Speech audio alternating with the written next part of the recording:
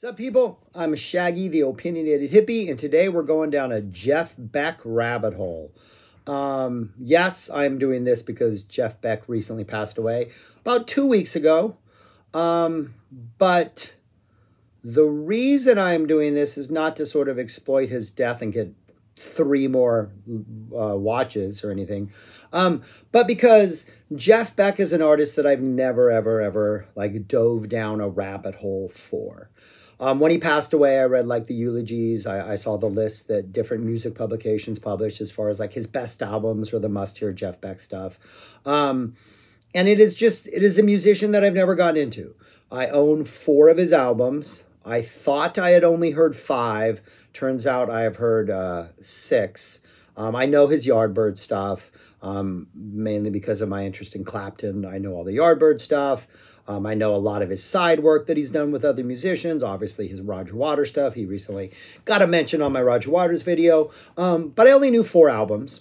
And of those four albums, one I probably listened to a handful of times when I bought it in the mid 80s and never visited again. It will be the first one I talk to about on this list, last on the list.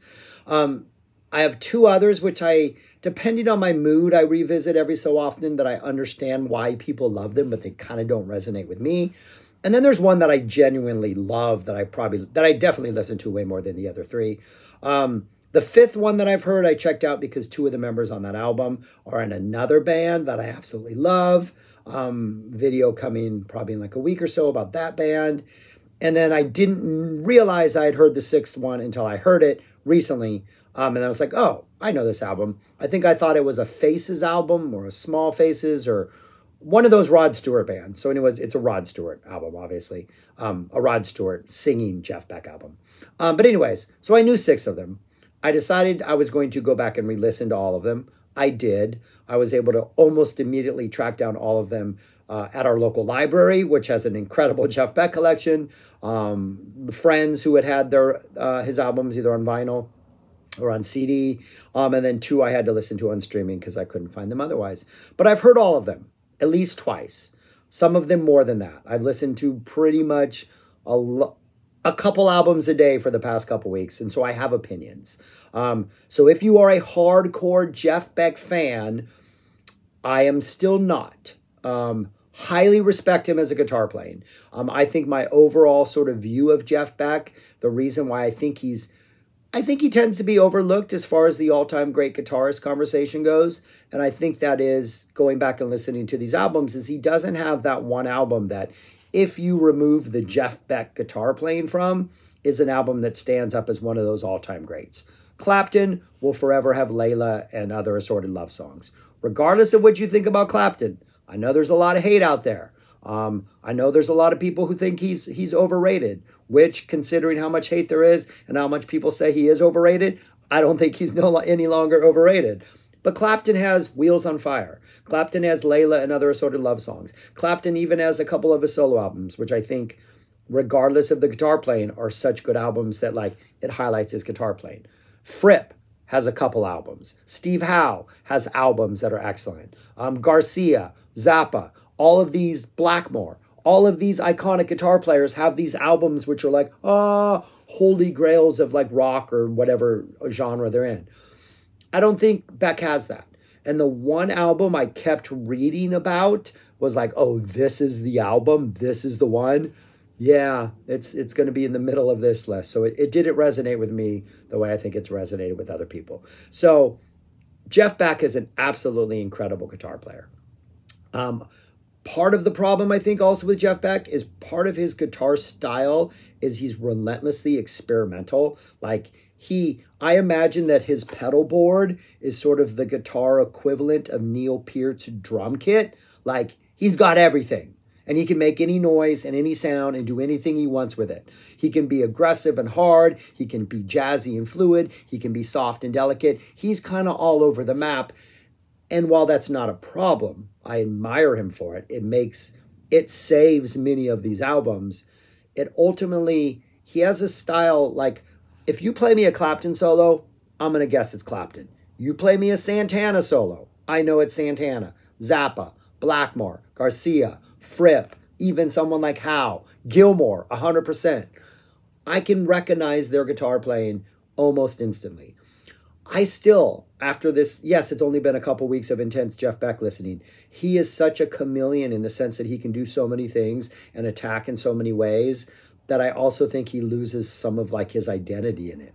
I don't know. But that's my opinion. That's just how that's just what I think in this experience. So come at this with lots of salt because again, uh, there's 15 albums. I'm not doing his collaboration albums, the where he covered all the um, uh, the country songs. I think that's what it was. He did like an instrumental for a TV show. I'm not going anywhere near that one he did with Johnny Depp.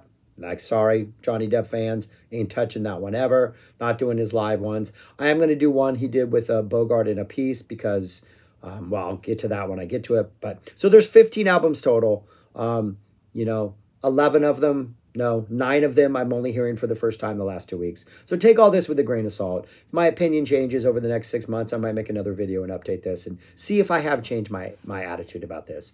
Um, how do we get through Jeff Beck from Frank Zappa? Oh, there's lots of ways. Punky's Whips, uh, Magic Fingers, Titties and Beer. He gets mentioned in those songs at least. Um, uh, he played on GTO's Permanent Damage. Uh, Frank Zappa, in interviews, was very complimentary of his uh, guitar playing. Specifically, I think he complimented Blow by Blow or Wired, one of those uh, sort of mid 70s jazz fusion uh, albums. So Frank had a very high opinion of him. And plus, Bozzio played with him, Kali played with him. Um, there are probably lots of lots and lots of connections. But anyways, that's a lot of rambling. I'm probably not going to have a lot to say on these albums, probably other than just my basic opinion at this point. But I'm going to give it anyways because this has been fun and I like doing this kind of thing. Obviously, when I'm done, let me know where I'm wrong. Let me know your rankings. I'm really more so than any other artist really interested in what other people have to say because this is like a brand new world for me. It's a brand new rabbit hole. And I was genuinely surprised. Um, I assumed, as with someone like Clapton, who I love his 70s stuff, I could care less for anything after like 81, 83, I think was my last favorite Clapton album. I was surprised by how much I love Beck's late period stuff. I love his late period stuff. So that was a really pleasant surprise. So, yeah. Anyways, that's enough. I think I've said enough about Beck. If I forget to say something, I'll I'll add it on later in the video. But let's get on to my least favorite the only one that I actually don't think is any good. The only one I know I will never revisit again. Let's get on to number 15. Number 15 is his 1985 album Flash. This was his it was his fifth studio album solo, but that's weird because I'm also counting the Jeff Beck group stuff in this. So, anyways, it came out in 85. Um, I bought it because there's a cover of People Get Ready in which Rod Stewart sings one thing I realized going back and revisiting these Rod Stewart has an absolutely amazing voice. Rod Stewart makes mediocre albums good. He makes good albums great. He wasn't able to save this album because he's only on one song. And in that song, the 80s drum sound just.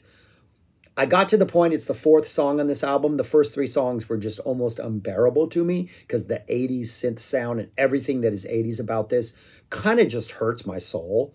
Um, like I don't want to in any way belittle PTSD. That's a real thing. I know it. I've written plays, won awards about uh, soldiers who have gone gone through war. Um, like I, I I know about this. My dad was in the Vietnam War. I understand PTSD. Not in any way trying to mock it, but man, the sound on this just makes me upset. I do not like it. I bought it in 85, tried to listen to it, even then it was way too much for me um, as a 15 year old. But anyways, yeah, it's rough. Uh, like Rod Stewart's voice on this is like, Savior, take us away from here, save us, take us somewhere else. But yeah, it, this was a rough listen. I just can't do it. What is the the two good things about this? Jeff Beck, Jeff Beck's guitar, which again, a little too 80s processed, a little too like lost in the music and the process music and Rod Stewart's voice. But yeah, I, I can't in any way. I will never listen to this album again. Um, I put it on the first time thinking, ah, okay, I bought this once, not that bad. Ugh. I revisited it again. It was the last album I revisited before making this video. Ugh. No, I can't do it. I can't do it. Uh, it's just, it's impossible. It just sounds way too 80s. Yeah, it's my number 15, Flash. Number 14 is 1989's Jeff Beck's Guitar Shop. Um, this was the album that came out after Flash. It's still in the 80s. There's still pretty much an 80s hangover going on here. Bozzio sounds stiff like a drum machine. Oh, Bozzio's the drummer. Uh, Tony Hymas is on keyboards and synths. Again, it sounds very 80s, and I think the title is perfect. It sounds like a guitar shop. It sounds like a bunch of machines and mechanical stuff and a factory and like almost like the music was written as an obstacle course of machinery. And Jeff Beck listened to the obstacle course and then was like, okay, this is how my guitar is going to maneuver through all of these different parts. It feels like, and this is my problem with a number of Jeff Beck albums. Like there is this real stark disconnect between what he is playing and what the rest of the band is playing. Not that they don't match. It's not a Xenochrony thing where like Jeff Beck played a solo and then laid it on top of the other part with without any regards to what it sounded like. But almost like the other music was written, and then Beck is like, okay, how am I going to maneuver through these changes, and what am I going to do in the solo spot, and how much space do they give me? And that there's a real inorganic feeling. This one just feels processed to me. It feels mechanical. It feels robotic. Um, I read a review that referred to this as power rock, which, if this is what power rock is, I don't like power rock. Um, I don't think Bozzio comes across very well. It's a couple things where Bozzio has like these spoken word type things where he's doing almost like this Laurie Anderson, David Byrne type spoken word thing. I don't think it works. Yeah, I just, did not like this album at all. Um, I think I said there was only one I would probably never revisit. There's two. I don't think I'm ever going to go back and listen to this one again. I just couldn't get into it. Just it did. It left me feeling cold. It left me feeling lifeless. Um, yeah. Um, if there are two types of music I don't ever like listening to, for the most part, as a general rule, obviously exceptions to every rule. Not a fan of bluegrass, and not a fan of jazz fusion slash instrumental albums built around a guitar player, like Steve Vai, Joe Satriani, Joe Bonamassa. Is, is he like he's that right? I think so. I don't know. Um, I think I listened to one of his albums and didn't like it. There's something artificial about like guitar solo vehicles. Zappa was able to pull it off because he would have one or two sort of instrumentals built around a guitar, and the rest were literally just solos. He just got a solo. And because those were in the context of a song, they felt more organic. Don't like this kind of stuff. We're still got a little bit of the little bit of the jazz fusion, but we're definitely leaning in more of a heavier, harder power rock mode that does not do it for me. My number 14, Jeff Beck's Guitar Shop. Probably can fix my guitar really well, can play the heck out of it. I just don't like the way it sounds when he does. Yeah, on to 13. Number 13 is Jeff. Um, this came out in 2003. Um, this is another one that just kind of like feels a little overproduced. Feels like there's just way too much production getting in the way of really good playing. Um, I think this is another one that kind of is in the same vein as Jeff Beck's Guitar Shop, just a little bit too power rocky, whatever that means. A little bit too just, you know, leaning in on those instrumentals that just kind of don't resonate to me, that have this weird power rock, weird, awkward funk, and just mechan- me- mechanical sound. Back again, he sounds fantastic. His guitar playing is always good. Like, I have no complaints about his guitar playing ever. It's just the songs he puts around him, the music that surrounds the guitar playing just doesn't do it for me. Um, and again, I'm looking at the set list for this, and like none of these albums I remember standing out. Like I've listened to this album. I think I listened to this album three times, and I still I don't think anything's you know jumped out of me. It just felt.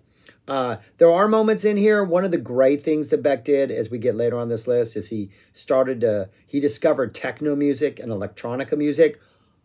Awesome, awesome stuff. There's a little bit of that in here, but not enough. This is one of those in which he's kind of watered down the electronic stuff after doing it after a couple albums. Um, maybe trying to mix in a little more sort of his traditional type rock, kind of other stylings. Um, and it just it doesn't work for me. It, it, just there's nothing about this I thought was memorable. Um, I do remember listening to it and going, I, I would rather listen to this than Flash or uh, his Guitar Shop album. But it definitely was not as memorable as almost everything else that's on this list, other than the next one.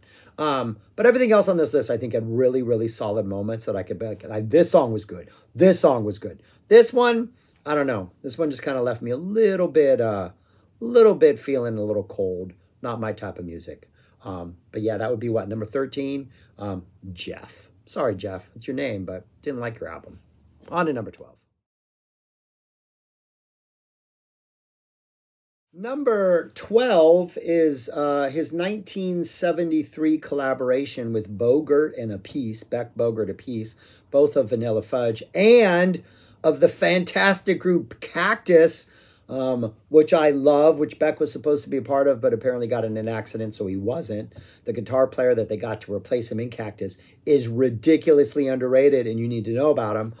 You'll learn about him more next week if you want to stick around for that video. Um, but this is an album I sought out. I had heard this album before this, um, and I sought it out because Bogert and Appice are in Cactus. They're also in Vanilla Fudge. Um, love those Cactus albums. I was hoping this had that same sort of energy.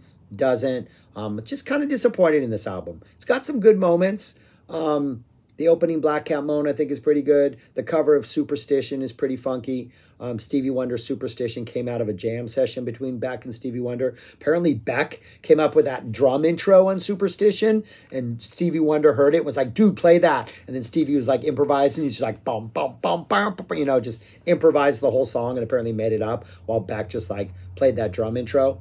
Um, so they, uh, and Stevie Wonder agreed that he could release this song first, but due to like contract label type stuff. Stevie Wonder's came out first and this followed, but this was supposed to come out first. Undi- the highlight of this album by far. But everything else, I don't know. It just it's it's kind of boring, very bland, bad, just kind of, you know, your typical sort of early 70s blues rock type stuff. Um, the type of stuff that Cactus would do on other albums much, much, much better than this. Highly recommend you check out their first two albums or wait next week because I'm going to make a video about them because I love that group. Um, but, anyways, yeah, just this doesn't do it for me. It was more disappointing. I, I thought this would be a better album than it was. Um, but yeah, something about it just leaves me feeling empty. Again, it's like even Beck, I don't think is at his best on this album. The whole thing just feels like, yeah, it just feels like, uh, kind of forgettable, which is sad because this should have been more epic. But yeah, but the rest of these on this list, the rest of these on this list, all have some pretty good moments. On to number 11.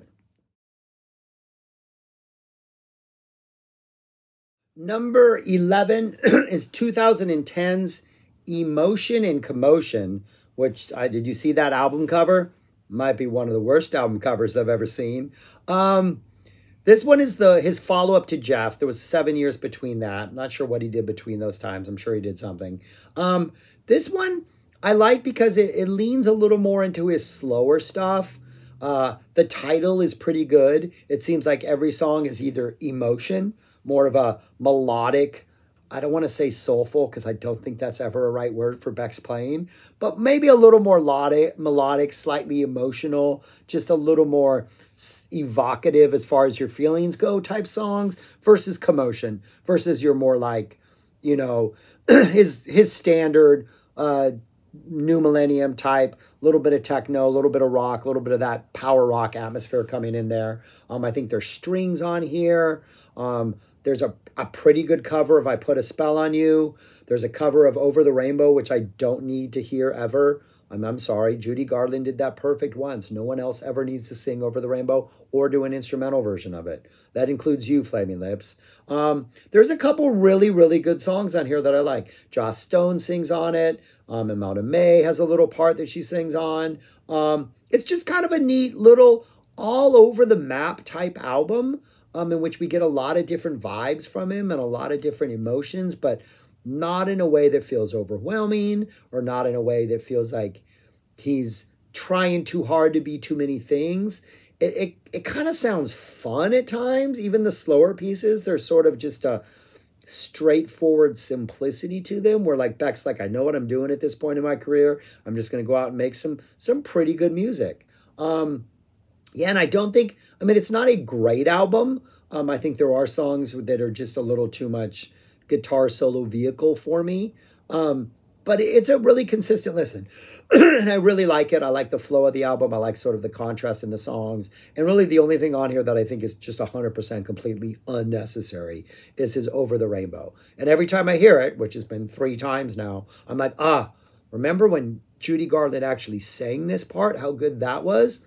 I want to hear those vocals. But, anyways, yeah, pretty good album. Like, um, you know, for somebody, this came out in 2010, but this is like 40 45 years ish into his career and he's still making an album that sounds this kind of fresh and alive and exciting and like somebody who cares. It's pretty good stuff, man. That's surprising. Um, but I'm, I'm glad that it's 11 because I do think the top 10 are just all that much better.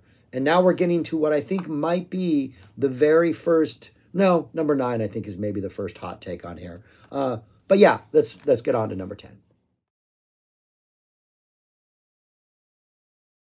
Number 10 is 2000 is 1980s There and Back. This was the first album he released after Wired. Uh, Blow by Blow by Blow and Wired were sort of his jazz fusion, highly critically acclaimed albums of the mid 70s. This is pretty much the third of that trio. Pretty much the same vibe, very jazz fusiony. Jan Hammer is the keyboardist on here, which I'm not a big Jan Hammer fan. Not a big fan of the sounds he chooses. Not a big fan of just his overall vibe that he has. A little too jazz fusiony for me. Um, but this is a pretty good album. Like it's one of those where while I'm listening to it, other than the Jan Hammerisms that pop up kind of frequently, I think he wrote a couple songs on here. I enjoy the songs. Um, I don't think any of them are that bad or that annoying. I just don't think they're as memorable as Blow by Blow and Wired, his other two sort of jazz fusion albums. Um, one of the songs, El Becko, I really, really like. There's just a really good, fun vibe about that. Space Boogie, the penultimate track, has some really nice energy about it. Um, it's just got some really good moments on this album that I think really work well. And I think there are some really nice spots where his guitar playing shines in a way that feels a little more organic, a little more natural than some of his other songs. Um, yeah, it's just it feels really it feels it's a comfortable album. Again, it's not it's not too adventurous. It's pretty safe. He's pretty much mining the same territory that he mined with Blow by Blow and Wired. And I think if you really like Blow by Blow and Wired, like I don't know why you wouldn't like this one. Like I think you would rank them either Wired or Blow by Blow first, and this would obviously be the third. I don't think the the songs themselves um, are anywhere near as good as on those other two albums.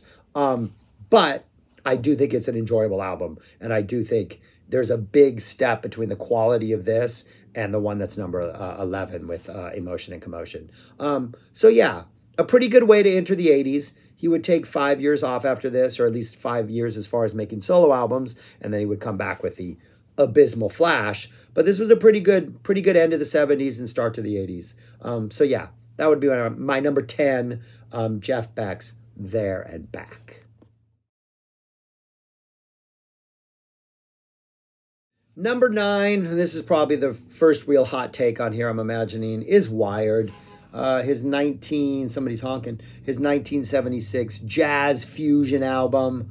Um, this is another one that is Jan Hammer on it. But Max Middleton, which was in his second incarnation of the Jeff Beck group, is still on here, who I really like and like piano, um, other keyboards. Um, but yeah, this is like, again, I'm not a big fan of jazz fusion. This is like, he's fully in the jazz fusion phase. Um, couple excellent songs on here. His cover of Mingus's Goodbye Pork Pie Hat is pretty exquisite. However, it does make me want to go listen to some Mingus. So it's good in evoking that, but at the same time, if I'm if I'm yearning for the the original, your cover maybe hasn't succeeded as well as you think it has, but I think it is the highlight of this album. Um, the opening track, "Led Boots," lead is spelled L-E-D because supposedly it's inspired by Led Zeppelin. Uh, yeah, maybe I guess the drum beat. I don't know. Doesn't sound Led Zeppelin to me.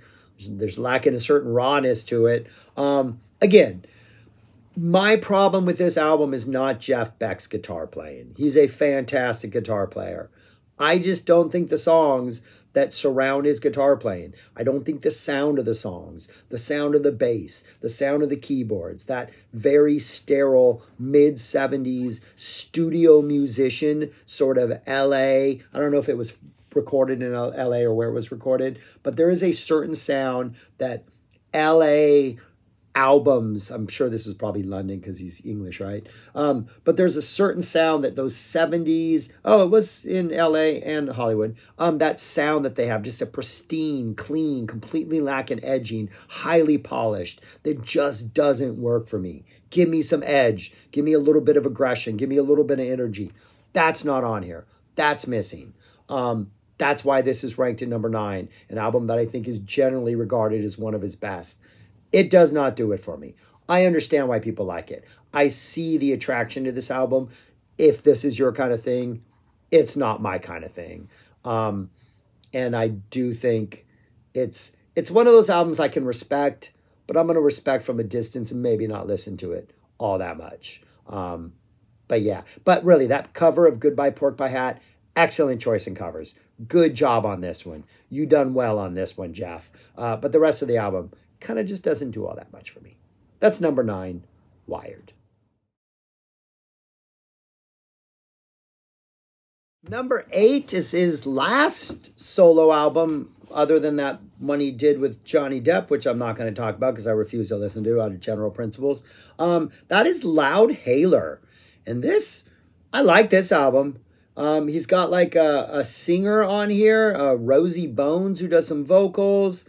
Um, there's another guitar player, Carmen Vandenberg, who's getting in on the action. Um, it's got a lot of the techno energy and electronic energy from his other stuff. It's got a couple kind of good songs. It's got some sort of soulful female singer energy. Um, it's just kind of mixing it up a little bit, and it feels. In a way, it feels like what this came out in 2016. Like maybe he's like I don't know, a decade behind the times musically, and that had this come out maybe earlier, or to be a little more cutting edge. But at the same time, he's still going new directions. He's still experimenting. He's still mixing things up. It's kind of a fun album. It's got some really good songs on it. Um, the Re- Revolution will be televised as the opening song again. Um, maybe not a fresh idea in 2016. I mean, uh, I come from the slam poetry world, and people were slamming the revolution will be televised in the late 90s you know so that's not a new idea. Uh, but i like the energy. Um, i like a lot of these songs on here. That thugs club scared for the children um, things that i remember list, popping out of me when i was listening to them. It's just got some good energy. Um, I don't think anybody in the band is, you know, there's no Bozzio, there's no Colaiuta, there's no like real epic musicians, Jan Hammer on here. It's just a really good, solid, kind of funky, kind of fun album. Um, and it really surprised me. Like when I was listening to these, you know, I the ones that preceded this were Jeff and Emotion and Commotion. You know, so I was expecting this to even be farther down the list, and just like, no, this is kind of there's a new energy to this. There's like, uh, you know, it made me want to go listen to that Depp album, but then the Depp album is mostly covers and a couple Johnny Depp songs, so I refused to do that. Uh, general jo- anti Johnny Depp general principles.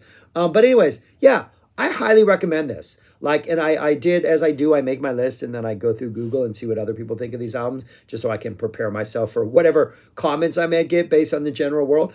And I saw this at the end of people's list, and I saw this on the front of people's list on both sides. So I like the fact that he's able to make music that can be like, both embraced by people looking for something new and sort of like, no, this isn't the Jeff Beck we love. But he was able to do that. And it's it's it's it's an exciting album. Like, I don't know. I, I thought this was just like I don't know. This album made me sad I hadn't got into Jeff Beck earlier. Um, I had a chance to see Jeff Beck once. He played at Bonnaroo, and I had every intention on going to his show.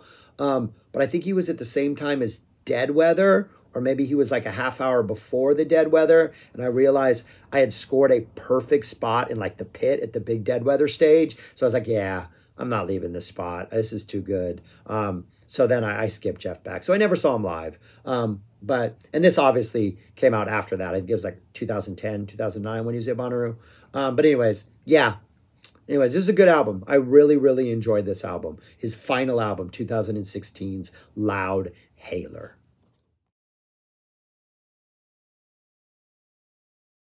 Number seven? What number is this? Seven? Number seven is his debut album, 1968's Truth. Uh, this was the one that um, one I had heard before. I thought this was like a Faces or Small Faces album. I realized that my roommate one of my roommates in college, I think it was uh, the guy who was a big Who fan. You know who you are if you're watching this. Um, uh, I think he had played this a couple times because I was listening to this going, I know these songs. I know this. I know this version of this song that I don't like. And I know what. So I think I'd heard this back in college. So that had been decades ago. Um, Rod Stewart's on vocals immediately for the win. Uh, Ronnie Wood's on bass immediately for the win. Um, Mickey Waller's on drums. Um, my problem with this album, and this is one of those I saw like on the top of a lot of people's lists, is sort of like the birth of heavy metal and all these other sort of completely like all-time great acclamation acclamations uh, acclamations? That doesn't sound like a word. Proclamations about this band uh, about this album? I don't know it just didn't do it for me. And I, i'll tell you why. It's the covers people. I, I just can't get behind most of the covers. And it's not jeff beck's fault that other people did these covers much better than he did. Opens up with shapes of things. Excellent version sort of a rewriting of this song. Works. Great. Great opener let Me Love You, pretty good second song. Then we get a cover of Morning Dew. Doesn't compare to the Dead's, but nothing compares to the Dead's. Doesn't compare to the Allman Brothers early version um, when they were what, that other band that they were. Doesn't compare to the original. That eerie sort of like everybody's dead and now we're trying to make life better without kind of acknowledging that they're dead. And maybe uh, that eeriness is just completely lacking. And I don't even think Stewart does a very good job delivering the vocals on this. You Shook Me is the next song sorry, buddy, but Led Zeppelin did this, and nobody can do You Shook Me after Led Zeppelin touches this. It just doesn't compare. Old Man River, uh, uh. Um, Green Sleeves, I don't want to hear Green Sleeves. Maybe if it opens and or closes the album, but it opens side two, and I just, no, I don't. Uh, Rock My Plimsoul is good. Uh, Blues Deluxe, uh, the penultimate song, is a nice little jammy number in there that is actually one of the highlights of the album. Um, a cover of Willie Dixon's I Am Superstitious is really good. But the biggest problem I have with this is with Beck's Bolero. I understand this is like generally regarded as a great song, but to me it seems like half a song. Every time I hear the song, it sounds like it's sort of the second half of Layla that there should have been a two and a half, three minute upbeat rocker that ends and sort of fades or segues or morphs into Beck's Bolero. Beck's Bolero seems like half of a fantastic idea. I just want the other half. Maybe if it had gone on for another three minutes, it's only two and it's like three minutes, just under three minutes. It just feels like I want more. It feels incomplete. There's good ideas in here. I like the overall concept. Um, you know, there are things that work, but it just kind of feels, it leaves me feeling like I want more. There needs to be something more to this. Um, and, and for that, it just, this album always just kind of, kind of disappoints me. Just an unfortunate selection of covers. Um, and then a couple songs, which I think people, which I just don't think are as great as people think. Rod Stewart, thank you. He raises his higher. Ron Wood's bass playing raises it higher. Um, but yeah, for the most part, this this album, I'm underwhelmed by it. You know, maybe if I'd heard it in '68 when it came out, you know, I was I wasn't even born. I wasn't even wasn't even like, you know, yeah, I'm not even gonna say where I was in '68. I was still in the Navy in my dad at that point. But yeah, this album, I, I see why. I, I see the attraction of it. Rod Stewart makes it good. There are some good songs and some good playing, but ultimately, I think it's just it's a little disappointing. Just leaves me feeling wanting a little bit more. Um, and and we will get that more on the next album. But that next album, it's not coming for a while. But let's get on to number six. Number six is 1975's, right? Uh, blow by Blow. The first of his three sort of jazz fusion instrumental albums. This one is really good. I think this one is much better than Wired. Um, the, the, the choice of cover songs are better. Uh, there's a couple Stevie Wonder collaborations, which are simply fantastic. Um, I think the playing is feels a little more organic and it feels more like a band actually playing instead of a band writing music that Jeff Beck has to like do tricks through on his guitar. Um, yeah, it just feels better. Um, opens up with You Know What I Mean, a pretty good upbeat little number, a cover of the Beatles' She's a Woman, uh, which is a really good choice of covers, and I think it just kind of works Constipated Duck, not a big fan of that. Air Blower, Scatterbrain, awesome ending to the first side, a really good sort of kind of funky little number. Um, but then side side two is almost perfect. I mean, it really is a fantastic side of music. Even the fact that it does have a jazz fusiony. Um, Stevie Wonder's "Cause We've Ended as Lovers," which is just Jeff Beck as at his emotive best maybe the closest he gets to being soulful that I still think that's a weird word to use for Beck. Soulful is not a word I would use for him. Um, but he's he's evoking some emotion in here. Like it, it's there's this is a well written song and and he's doing he's doing Stevie Wonder justice. Um, second song on the side is called Thelonious, another Stevie Wonder song, which is fantastic. And then the absolutely epic Freeway Jam, which is just uh, this one I knew. It was all over the radio. This was the reason I bought this album. KMET in LA played this song all the time. Love this song. And then it closes out with the nice eight minute Diamond Dust, which is just a nice, nice, kind of cool, sweet, sultry way to close out the album that feels just, just really good. Yeah, this is a really good album. Um, again, there are times I have to be in the right mood to listen to it because of its sort of jazz fusion, pristine, clean quality. Uh, but the songs surrounding the plane are so much better than I think almost all the songs on all the albums earlier on this list that it elevates this like the difference between this and truth is another step up to like higher quality and we're getting closer to that like truly epic Beck album but even this i think is I think you got to have a particular like of a certain type of music to really get into this jazz fusion stuff. I think the cleanliness of it turns a lot of people off because it does have that that that that vibe that you know even I can't get around to a lot of the time. But this is a good album. Yeah, man. Like if you have not gone into back starting with uh, what is this blow by blow, you would not do yourself wrong by starting with blow by blow because if you like blow by blow, you're in a lot. You're in luck, people. You're gonna have a lot of good music you're gonna like. But yeah, that is what my number six. That is my number six. On to number five. Number five is 1999's Who Else? Who Else? Not a question, it's an exclamation. Who else? Um, I really like this album.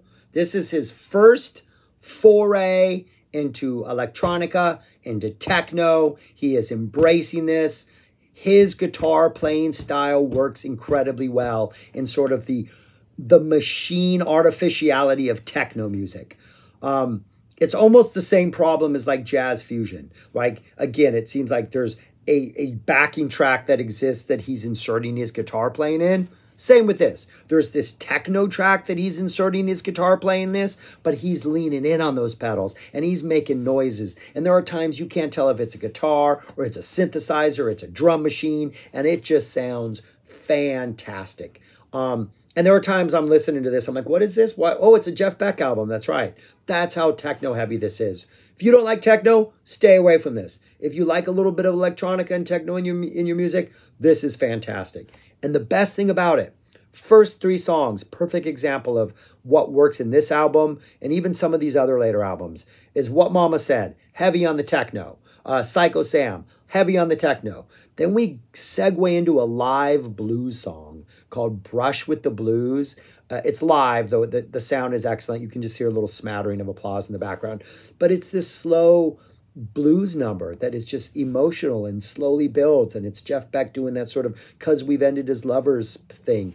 And it works fantastic. And from there on out, the album is a little bit of like techno heavy softness, techno softness. Hypnotica is kind of hypnotic in a weird, like cool back techno beats that are almost like like a if Can was a techno band in the background that he's playing over. There's just a lot of really neat sort of contrast and relief on this album.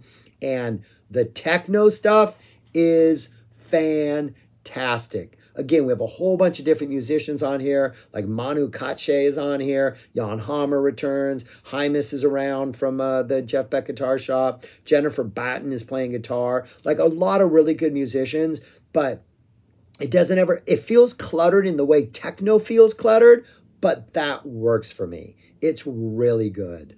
Um, yeah, this was, I think, the most surprising thing on here. Getting to this, I think this was what came out in 1989. And I think the two albums, like he had, this was the first album he had done after Jeff Beck's Guitar Shop that wasn't a collaboration or working with other people. He had taken a break from doing his own albums. And he, I thought this was just going to be like, li- listening to this after that Jeff Beck Guitar Shop, knowing there's like 10 years between this, I didn't expect much out of this. This blew me away with how good it was. I'm gonna I'm gonna re-listen to this one a lot. I've already have. I think I've listened to this more than my three times. Um, yeah, really good album. But if you if you don't like techno music, stay the heck away from this thing.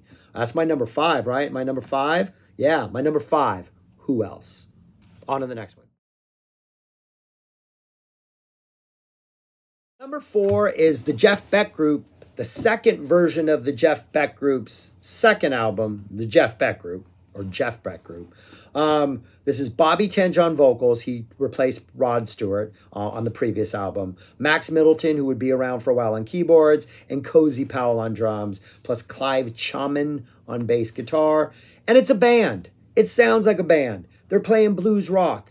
There's nothing special about the blues rock. It's nothing cutting edge. It's just a band playing really, really good blues rock music. And who's their guitar player?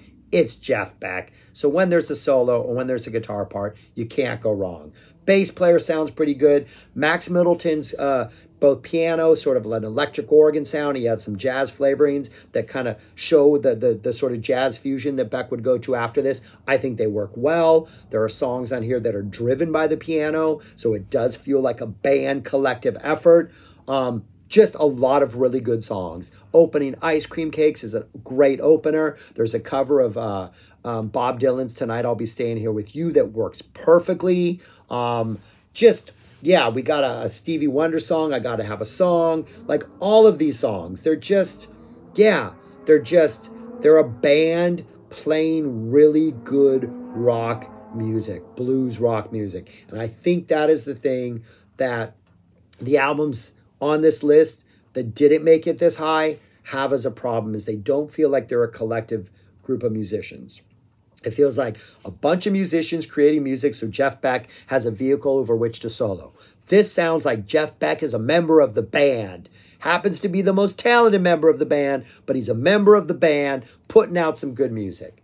Is this one of the best blues rock albums ever made? Nah, not even close.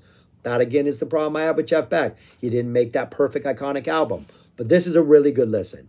Good covers, good playing. I, I think the vocalist is good. The musicians are good. Cozy Powell's on drums. So yeah, man, really good album. Um, this is one I, that will I will see staying in my rotation after this because I'm glad I discovered this. I had not heard this before. Oh, the ones I had heard before, because I don't think I mentioned it, I knew Flash, I knew Wired, I knew Blow by Blow. Wired and Blow by Blow are the ones that I'm hit and miss on. Um, I knew Beck Bogert and Appice. I talk about that. The other one that I listened to that I own, I haven't got to yet, um, but we'll get to that uh, and a couple more. But anyways, that's my number four, Jeff Beck Group, his fourth album, his second of the Jeff Beck Group's second incarnation. Yeah, on to number three. Number three is Rough and Ready, the first album of the second Jeff Beck Group's incarnation. Bobby Tench, Max Middleton, Clive Chaman, Cozy Powell. Um, pretty much the same vibe as that one I just talked about. Some really good blues rock. I think just better playing. Um, less songs, so a couple of the songs you really get to stretch out more, and you have more of a, a jammy, like that mid early 70s, just a blues rock band jamming and stretching out type feel. I think Max Middleton gets a little more time to shine on this. Um, yeah, I think Beck wrote all but one of the songs. Uh, Max Middleton wrote the other. Max's tune is the one that Max wrote. Um, and again, I just think it's a really good album. I think there's really good songs on here. I think the playing is really good. Um, there's some just excellent vibe. Uh, the band is good. It's it's again, it's a really a may, maybe an A, not definitely not an S tier, but maybe an A, probably not an A plus, but an A tier early 70s blues rock album with one of the most underrated, underappreciated guitar players ever as the guitar player. Um, but yeah, seven songs. What is it, like 36 minutes? Yeah, it's like 36 minutes long. You know, they're not aiming, I think they're not trying to hit a home run. They're just like, you know, they're playing their game, they're doing their thing. It's some really good music. Um, and yeah, I really, really enjoyed this album a lot. And it's kind of the meat and potatoes that I want more out of from more of from Jeff Beck. Just a really good meat and potatoes early 70s blues rock album. Really enjoyed this. Um, my number three, uh, his third album, Rough and Ready. Number two is 2000s You Had It Coming. Give me more techno. Give me more electronica. Give me more of that industrial kind of sound that you're leaning into. I love this album. Um, again, lot of Jeff Beck originals, not that many covers. I think the only cover on here is uh, Rolling and Tumbling, Muddy Waters. It's a great cover. We got a couple songs with a little bit of vocals on it. Um, it just, I don't know, man. It just is a fun, upbeat, kind of like, again, you know, it's what, 2000? So we're, we're leaning into the techno in 2000. That's not that bad. That's a, about right time. He's not too behind the times. Um, yeah, it again, it just, there's an artificiality about it because it's techno, but this works because I think all of his like you know, his pedal board, I guarantee over the course of this, what, 40 minutes, 35 minutes, he probably used every single pedal and effect he had at some point to create all the ridiculous noises and all the different solos and all the different sounds that he creates on this album. It is a fun, fun album. Uh, uh, drums and bass, Steve Alexander, Randy Hope Taylor. Don't really don't know if I know them. Jennifer Batten's on guitar again. Um, yeah, man, this is just again a mostly instrumental album, other than the two tracks that have kind of like spoken word little parts. I think Rumbling and Tumbling has vocals with Imogen Heap. Imogen Heap. Imogen Heap. Don't know how to say her name. Um, yeah, really good, man. Really, really good album. Absolutely blew me away when I got to this. Uh, and this was the one that followed Who Else? So that pairing of back to back albums in 99 and 2000, this guy hit it out of the ballpark with this. I really wish I had discovered this at that time because had he been touring on this stuff or had he been playing live stuff on this, it had to have been fantastic. I don't know how it wouldn't have been. But, anyways, this album just blew me away with how good it was. Um, yeah, but that's my number two. You had it coming. Now we're on to number one, an album I've owned forever that I've listened to more than any other, and maybe that's why it's number one, but I actually still think it's his best.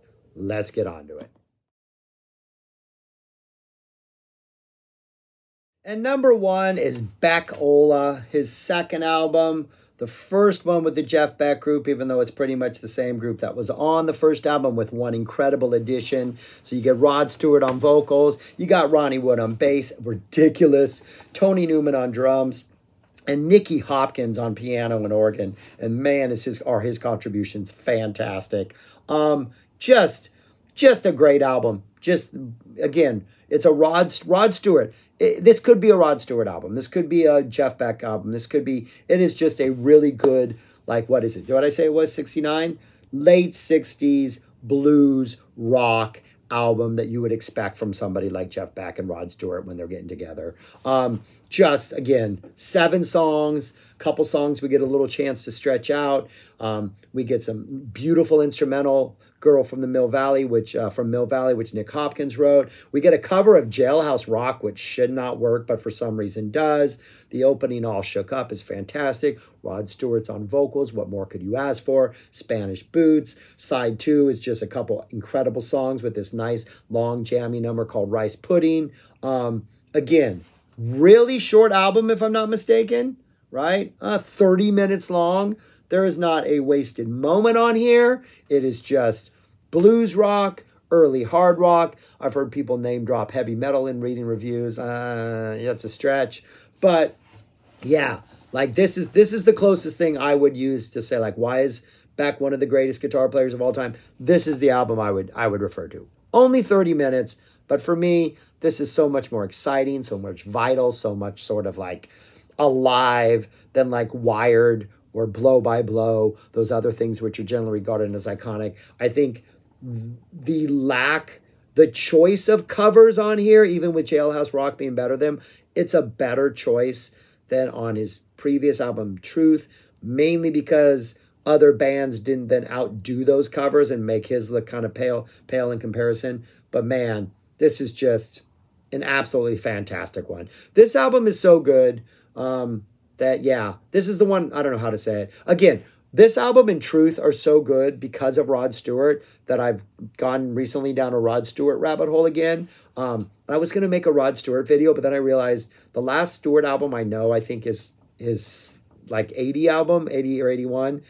I've not listened to a single Stewart album after that. And looking at them, I'm like, I really don't want to, but I really like Stewart's 70 work, as cheesy as it is. Blondes Have More Fun is such a stupidly fantastic album, as cheesy as that is. But, anyways, I'm getting on a sidetrack. Still, really good album, man.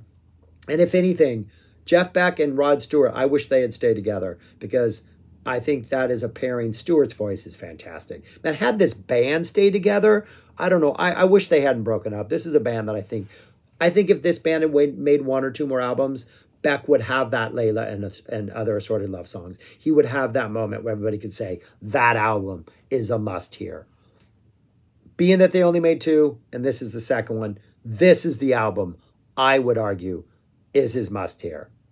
Again, none of these songs are as iconic as songs on other albums from other guitar players. Again, that is Steve, uh, that is Jeff Beck ultimately failing. But I still think this is a really good album. Yeah, that's my number one. His second one, Beckola. And that's all I got, people. I've been listening to nine of these albums for about two weeks now, and those are my thoughts on them. So again, I, it hasn't changed my opinion much of Beck. I've discovered some new stuff that I absolutely love. I think I have way more respect for him as a guitar player. Um, he is an absolutely fantastic guitar player. He pretty much can do anything. I understand why other musicians love him so much. Um, and I do think if there's one failing, he just doesn't have that one album that is truly like an S tier, perfect, all like 10 out of 10 album. I think that's just he wasn't fortunate enough to be a good enough songwriter himself or to have other people providing him the songs. That would be my complaint. Let me know why I'm wrong. If any Jeff Beck lovers have made it this far in this video or watch this, please fill me in. I want to learn. That's why I'm here. But this has been fun. I like this. Couple of these albums I'm going to revisit a lot. In fact, I think I'm going to go back and listen to uh, um, You Had It Coming right now because I, I, I'm excited about that. But that's it. Comment, subscribe, like. You know how it works. Talk to you later. Peace.